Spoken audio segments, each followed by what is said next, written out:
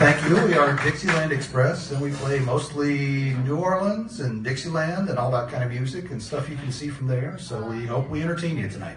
Imagine yourself in New Orleans. Way down.